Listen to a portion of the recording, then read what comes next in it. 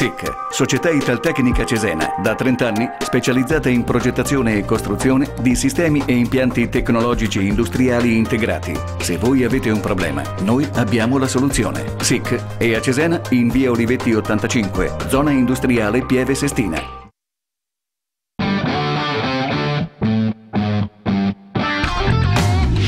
Infotech, il partner HP in Romagna. Frigoriferi industriali, soluzioni all'avanguardia nella refrigerazione industriale.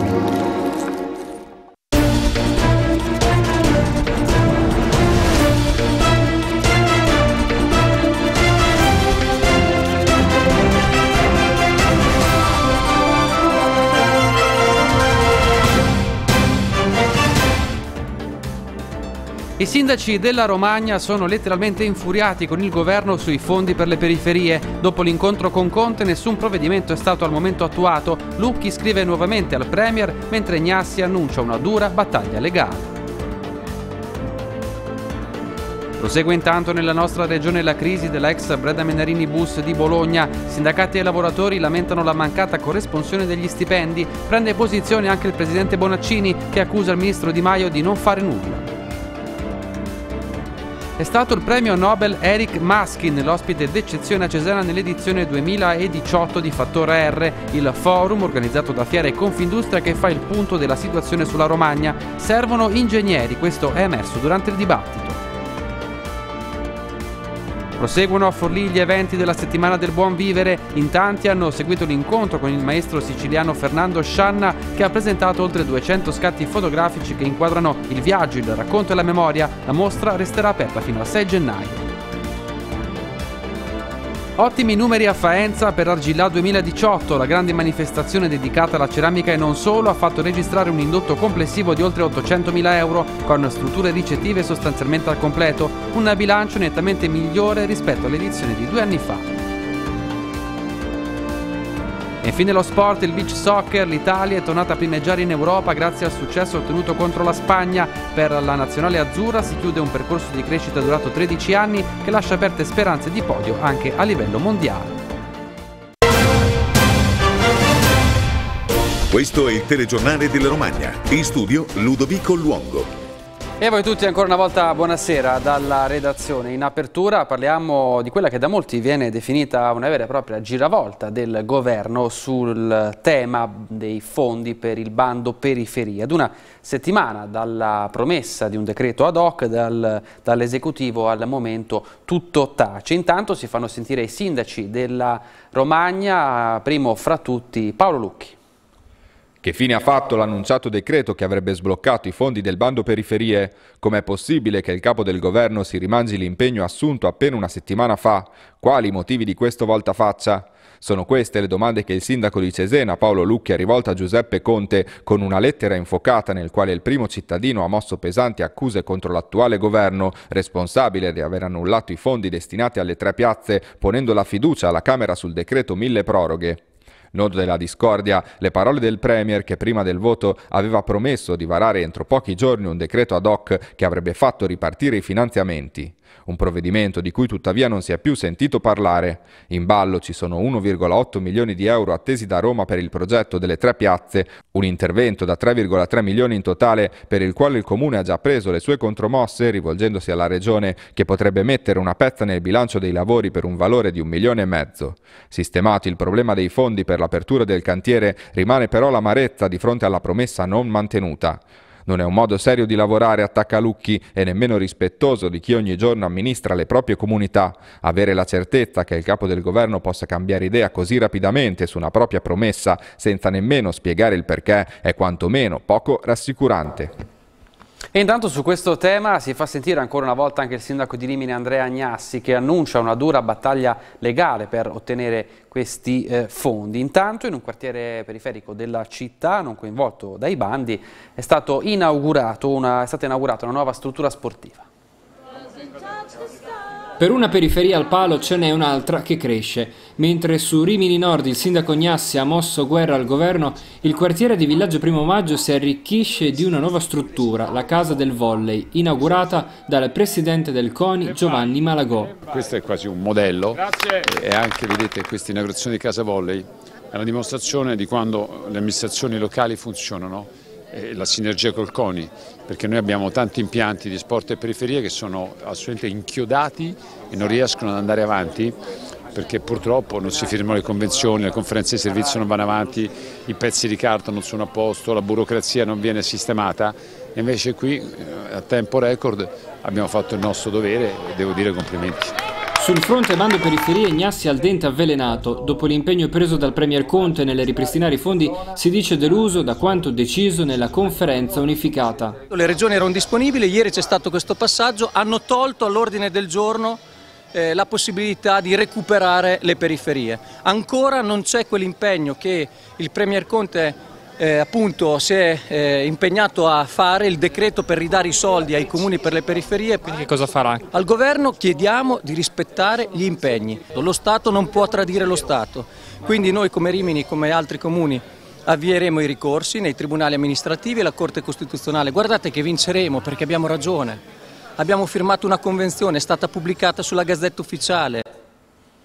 Sono accusati di aver gestito diverse società cooperative con cui reclutavano decine di lavoratori destinati al settore agricolo, i quali venivano impiegati in condizioni di sfruttamento con una paga oraria anche di soli 3 euro. Per questo motivo sono stati arrestati a Forlì tre uomini di nazionalità marocchina, l'accusa per loro è di caporalato. Dalle indagini è emerso che le vittime dello sfruttamento venivano fatte lavorare anche 14 ore al giorno in condizioni climatiche difficili e senza alcun accorgimento in tema di salute e sicurezza. Oltre alla custodia cautelare per i tre responsabili, il giudice per le indagini preliminari ha disposto anche il sequestro di diversi mezzi utilizzati per trasportare i lavoratori. Tra gli indagati ci sono anche due imprenditori locali per i quali saranno accertate le eventuali responsabilità.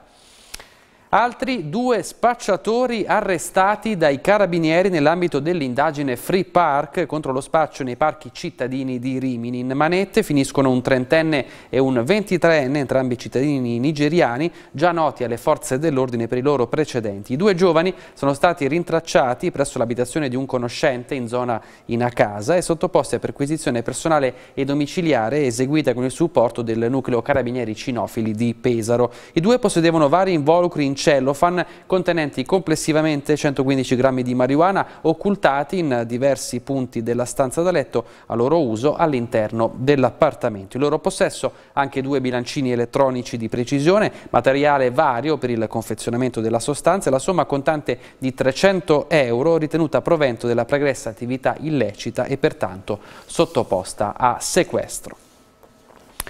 E ora parliamo della situazione della ex Brenda Menarini Bus. Non arrivano ancora gli stipendi, si fa sentire il presidente della regione Stefano Bonaccini. Resta incerto il futuro degli operai della ex Breda Menarinibus, la storica azienda bolognese produttrice di autobus confluita con l'ex Irisbus in industria italiana autobus. Sul punto è tornato il presidente della regione Emilia-Romagna, Stefano Buonaccini, che a seguito del tavolo di confronto a cui nello scorso agosto hanno preso parte il ministro Luigi Di Maio, le sigle sindacali e l'assessore Marco Lombardo in rappresentanza del comune di Bologna, ha precisato di non aver avvisato sino ad oggi alcun passo in avanti da parte del governo.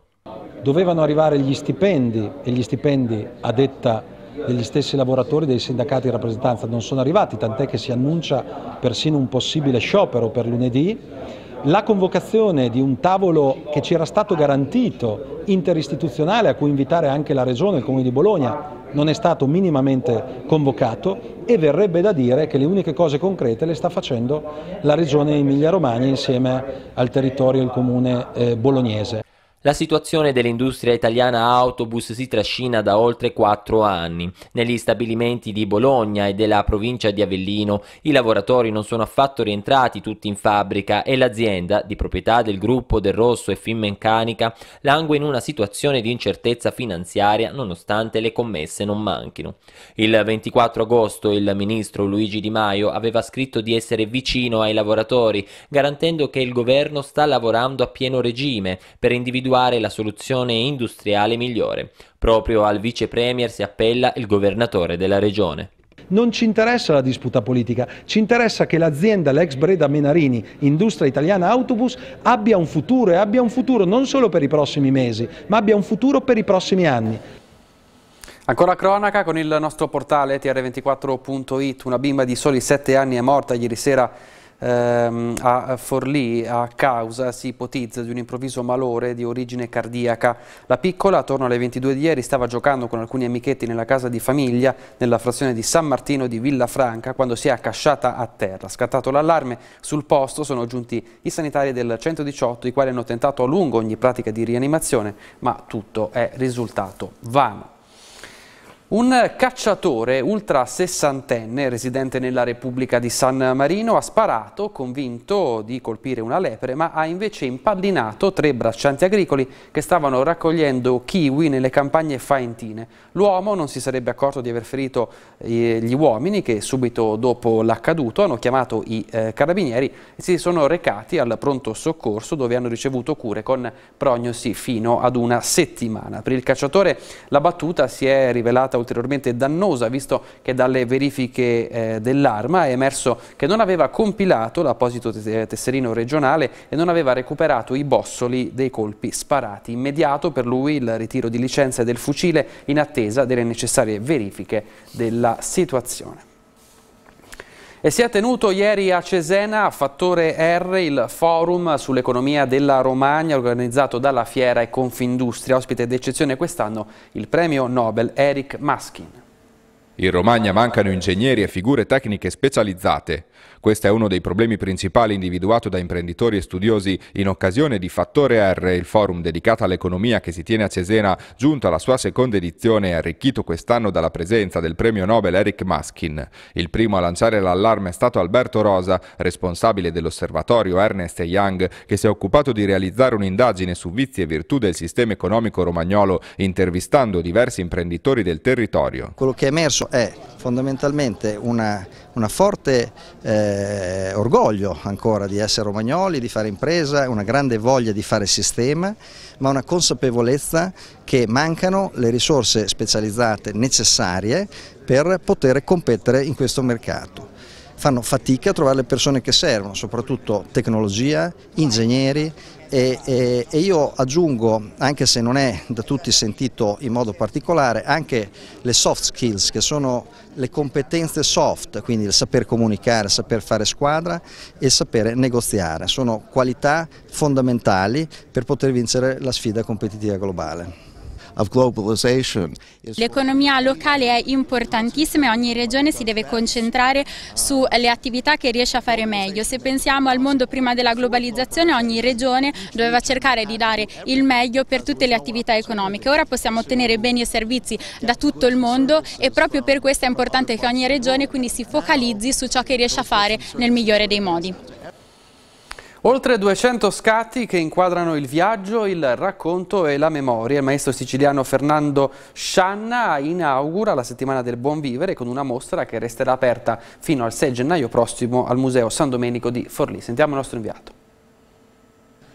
La nona edizione della settimana del buon vivere inizia con il botto dovuto all'evento della grande antologia, la grande mostra del maestro siciliano Ferdinando Scianna che attraverso ben 200 scatti racconta la memoria, il viaggio e appunto anche il racconto, il racconto dei luoghi che è il tema centrale proprio di questa settimana.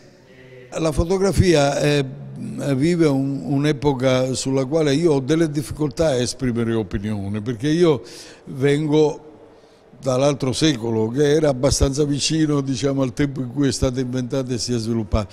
Io credo che intorno alla fotografia ci sono stati cambiamenti come in quasi nessun altro strumento di comunicazione.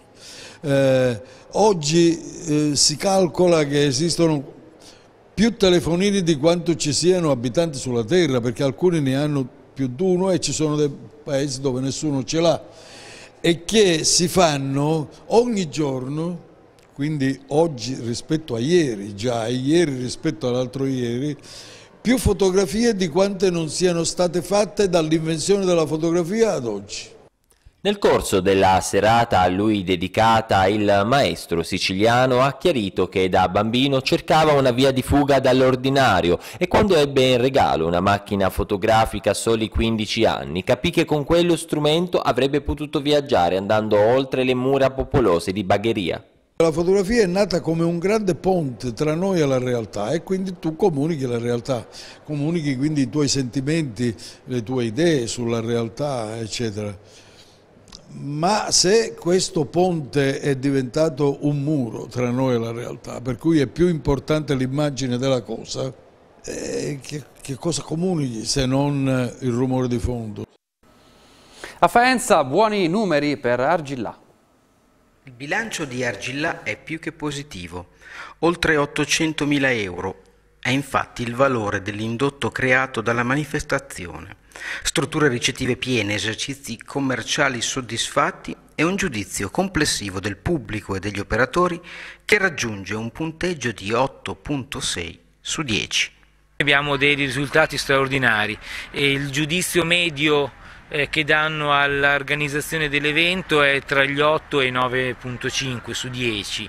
Eh, gli artigiani eh, che avevano le, nostre bancarelle e che avevano mm, così, detto di avere incassato, per dare un esempio, 1500 euro a bancarella nel 2016 quest'anno hanno detto che sono sopra i 2400 euro. Le camere eh, degli alberghi eh, i bar, i ristoranti, i bed and breakfast e gli agriturismi hanno raccolto percentuali maggiori rispetto a ciò che era accaduto un anno fa e due anni fa a due cifre spesso oltre il 20-30%.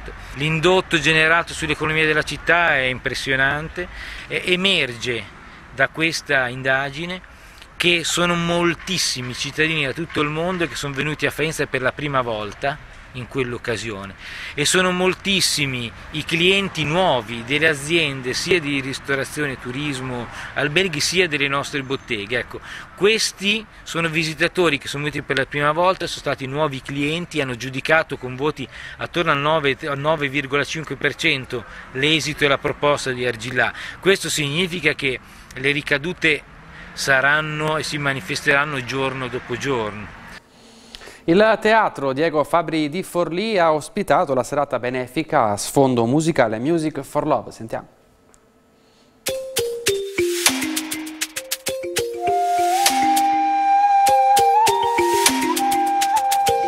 Music for Love, il concerto benefico ideato e prodotto da Franco Nannucci con Raffaella Vignatelli, è approdato al Teatro Diego Fabbri di Forlì. Sul palco si sono esibiti artisti di fama internazionale, da Fabrizio Bosso e il suo quartetto, a Mario Rosini, Riccardo Nori, il Duno Jazz Choir e Simona Bencini, insieme per sostenere i progetti curati dalla Fondazione Fabrizio Meoni Ollus. E questa tappa è sostenuta proprio dalla vostra azienda, perché tale scelta? Perché intanto c'è un'amicizia profonda che mi lega a Franco da almeno 18 anni, per cui quando la sua passione sposa delle cause come questa non è impossibile non seguirlo, non essere travolti e soprattutto non essere coinvolti in, in un'azione come questa, per cui la musica che fa rumore come noi, la musica che unisce la passione di tutti quanti e che fa del bene, quindi direi che è il non plus ultra. L'intero ricavato del concerto di Forlì andrà alla Fondazione Fabrizio Meoni Onlus come abbiamo fatto praticamente nel 90% delle situazioni. E la Fondazione Fabrizio Meoni Onlus si occupa molto di Africa perché comunque Fabrizio Dakar, la Parigi-Dakar è comunque il fondamento, eh, ciò non toglie che ci siamo occupati proprio ieri a Roma dell'associazione Peter Pan che è un'associazione che accoglie le famiglie di bambini malati di tumore che eh, vanno a fare le cure all'ospedale Bambin Gesù, ci siamo occupati con qualche piccola difficoltà anche di sostenere il post terremoto l'anno scorso. La Fondazione Fabrizio Meoni e Music for Love si vogliono dedicare ai bambini. I bambini sono il nostro futuro, sono, dovrebbero essere il nostro investimento e quindi investiamo su di loro senza nessuna differenza per quanto ci riguarda di, di etnia, di razza e, e altro. Grandi nomi invece a Ravenna per la Notte d'Oro 2018. Anche quest'anno la Notte d'Oro a Ravenna raddoppia con un'anteprima venerdì 5 in Darsena con la Notte d'Oro off e la Notte d'Oro vera e propria in Piazza del Popolo sabato 6 con il cantante Lorenzo Fragola. La stessa sera al Teatro Alighieri Valerio Massimo Manfredi parlerà di Classis e la Marina Militare dell'Impero, anticipazione dell'apertura a dicembre del museo sito nell'ex zuccherificio di classe. Abbiamo raddoppiato anche quest'anno con la notte d'oro off che comincerà venerdì, il primo esperimento dell'anno scorso è andato molto bene, tanto da meritare anche un finanziamento di un progetto europeo come migliore esempio di rigenerazione temporanea di un luogo all'interno della città. Quindi abbiamo grazie a questo finanziamento potuto eh, fare un bando eh, con una giuria, eh, con una commissione eh, di livello europeo che ha valutato, ha selezionato tre performance size specific specifiche che si svolgeranno all'interno della Dacian venerdì. Ovviamente oltre a queste ci sarà tanto altro e vi invito ad andare a vedere il programma. Invece la Notte d'Oro, così come la conosciamo, la festa della nostra città dove i siti culturali, il commercio, l'artigianato danno il meglio di sé in quella, in quella serata nell'offerta che metteranno a disposizione i cittadini e i turisti, a parte il concerto di Lorenzo Fragola gli appuntamenti saranno diversi. Cominceremo anche a parlare del progetto progetto di Classis con un, uh, un, talk tra il professor Sassatelli e Valerio Massimo Manfredi all'interno del teatro Alighieri, eh, del ridotto del, del teatro Alighieri e poi tante visite guidate. Altre notizie con le nostre brevi. Cattolica. I carabinieri hanno arrestato per detenzione ai fini di spaccio di sostanze stupefacenti un 35enne in possesso di quasi 8 grammi di eroina, un bilancino di precisione e 100 euro in contanti ritenuti provento di attività illecita. Cesena, l'amministrazione comunale avvierà a breve l'utilizzo sperimentale delle colonnine per la rilevazione della velocità, un investimento complessivo di circa 60.000 euro e si comincerà con una dozzina di dispositivi. Bologna i carabinieri di Vergato hanno denunciato un 61enne italiano e un quarantenne marocchino per spaccio di droga. All'interno di un immobile avevano nascosto panetti di hashish per un peso di circa 500 grammi. Rimini, dopo lo sciopero nazionale proclamato per il settore degli appalti ferroviari lo scorso 20 luglio, le organizzazioni sindacali nazionali di settore hanno proclamato una seconda azione di mobilitazione per il giorno 24 settembre, con presidi alle stazioni di Rimini e Bologna Centrale.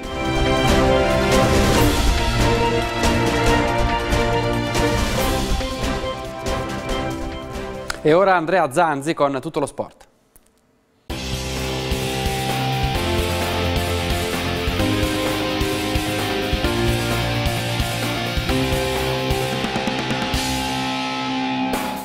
Grazie Ludovico e bentrovati su TR24 Sport.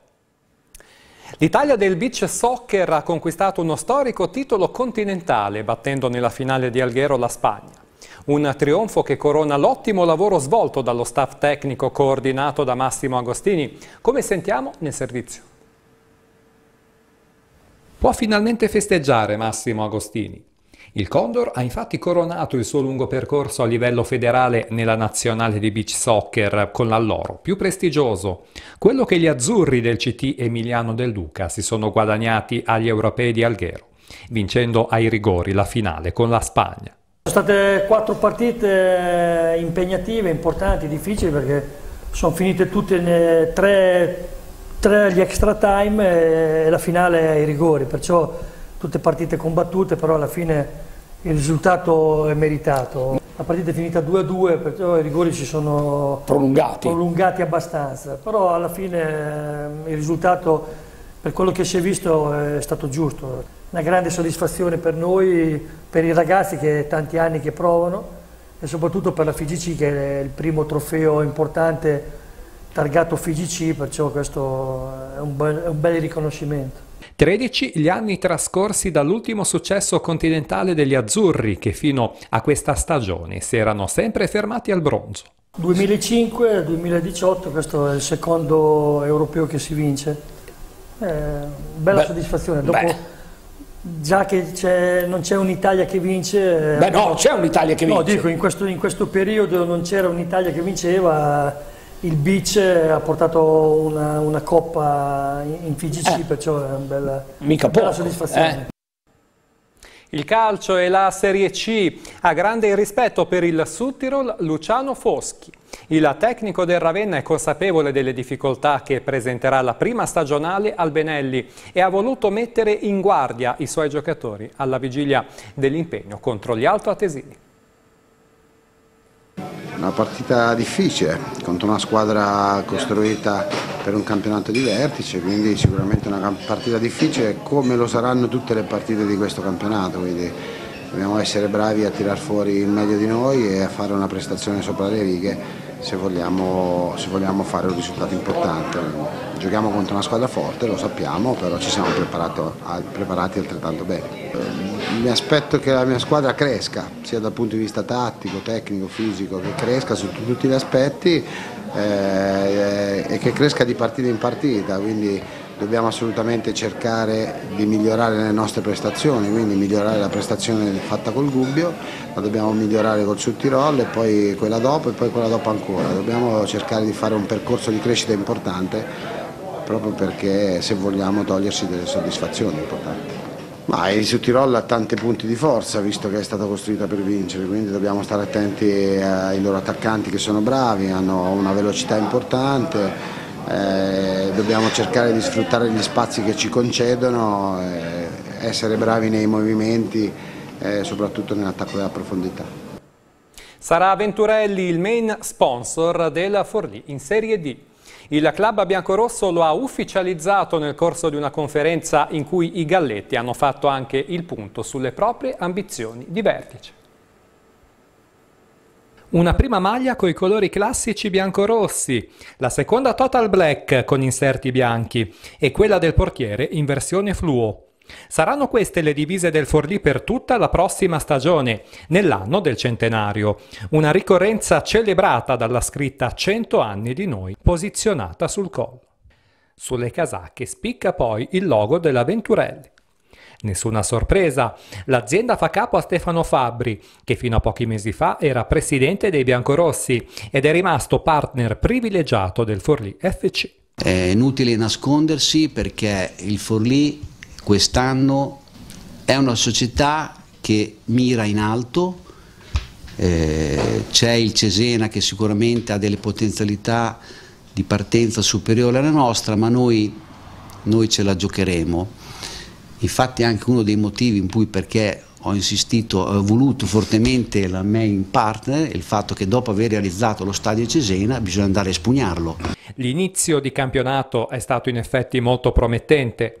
Il 3-0 rifilato alla prima stagionale a Lisernia rappresenta il punto di partenza ideale per le mire dei biancorossi. La squadra è stata composta nel modo migliore, i risultati ci sono per adesso, cercheremo di mantenerli e vedremo un attimo se il, se il campo ci darà ragione. Insomma. È tutto per lo sport, grazie per la cortese attenzione, arrivederci.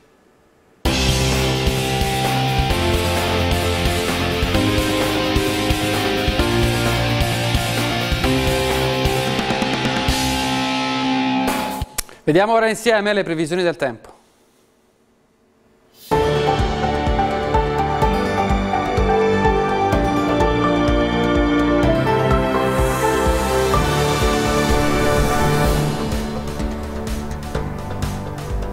Buonasera a tutti i telespettatori di R24 e Teleromagna da Andrea Raggini. Il fine settimana è iniziato con un tempo splendido su tutto il nostro territorio regionale e temperature da piena estate. La situazione andrà leggermente cambiando nelle prossime ore. La nuvolosità aumenterà per area leggermente più fresca in entrata da est, che determinerà quindi un inizio di domenica eh, piuttosto nuvolosa. Sulle pianure i cieli a tratti potrebbero risultare grigi, ma durante la giornata poi poi le schiarite torneranno a interessare buona parte della nostra regione. Le temperature minime saranno sempre decisamente alte, comprese tra 17 e più 20 gradi, mentre i valori massimi saranno in flessione di 3-4 gradi su tutto il nostro territorio regionale, quindi saranno comprese tra 25 e più 29 gradi. Ventilazione debole da est, mare calmo. La giornata di lunedì inizierà con il sole, ma attenzione a possibili rovesci temporali nel pomeriggio e eh, tra la sera e la notte, soprattutto da martedì, ci accorgeremo parleremo del netto calo delle temperature che subiranno appunto a cavallo tra le due giornate. Per quanto riguarda questo appuntamento è tutto, buona serata da Andrea Raggini.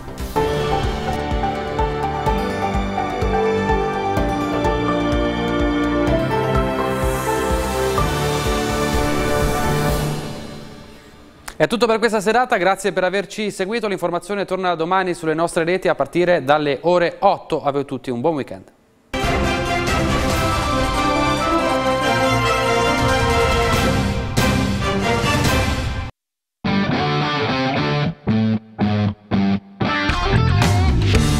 Infotech, il partner HP in Romagna. Frigoriferi industriali, soluzioni all'avanguardia nella refrigerazione industriale. SIC, Società Italtecnica Cesena, da 30 anni specializzata in progettazione e costruzione di sistemi e impianti tecnologici industriali integrati. Se voi avete un problema, noi abbiamo la soluzione. SIC è a Cesena in via Olivetti 85, zona industriale Pieve Sestina.